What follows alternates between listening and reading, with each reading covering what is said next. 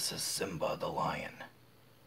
As the son of Mufasa and Sarabi, he is the king of the Pride Land.